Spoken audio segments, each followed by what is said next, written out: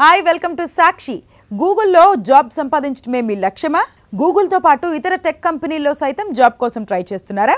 అయితే మీ రెజ్యూమ్లో ఇలాంటి తప్పులు చేయకండి. గూగుల్ రిక్రూటర్ చెప్పిన ఈ టిప్స్ ఫాలో అయితే దిగ్గజ కంపెనీల్లో జాబ్ సంపాదించడం అంత కష్టం కాదని అంటున్నారు. ఇంతకీ ఆ టిప్స్ ఏంటో తెలుసుకుందామా?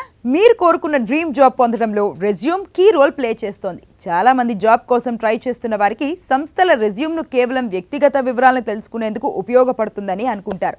కానీ అందులో వాస్తవం లేదని అభ్యర్థి తెలివితేటలకు పరీక్ష పెడుతుందని నిపుణులు అభిప్రాయం వ్యక్తం చేస్తున్నారు. కాబట్టి మీ రెజ్యూమ్ను అర్హతలకు అనుగుణంగా తయారు చేసుకోవాలని సూచిస్తున్నారు. ఒకవేళ మీరు గూగుల్ లేదా ఇతర దిగ్గజ కంపెనీల్లో జాబ్ కొట్టాలంటే రెజ్యూమ్లో ఈ తప్పులు చేయకూడదని గూగుల్ రిక్రూటర్ ఒకరు టిక్ టాక్ వీడియోను పోస్ట్ చేశారు. ఆ వివరాలు ఇలా ఉన్నాయి.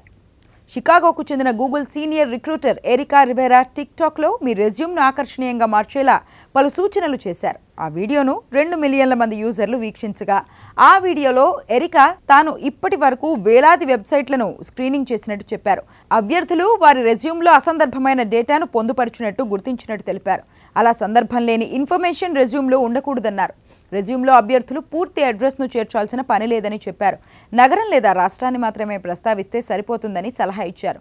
సీవీలో చేర్చకూడని మరో ముఖ్యమైన విషయం ఏంటంటే మీకు వర్క్ ఎక్స్పీరియన్స్ ఉండొచ్చు కానీ ఆ విషయం మొత్తం సీవీలో ప్రస్తావించకూడదు. మీకు ఏ సంస్థకి ఇంటర్వ్యూకి ఏ రోల్ జాబ్ ఇంటర్వ్యూకి వెళుతున్నారో ఆ రోల్కు అనుగుణంగా రెజ్యూమ్ను తయారు చేసుకోవాలని సూచించారు. రెజ్యూమ్లో మీరు గతంలో పనిచేసిన సంస్థ గురించి ప్రస్తావిస్తూ ఆ సంస్థలో సాధించిన విజయాల గురించి ఒక టీం చేసిన విధంగా చెప్పాలి. అంతే తప్ప అన్నీ నేనే చేశానని మాత్రం ప్రస్తావించకూడదు. రెజ్యూమ్లో సంబంధం లేకుండా రెఫరెన్స్ నేమ్స్ వారి వివరాల్ని పొందుపరుస్తూ ఉంటారు.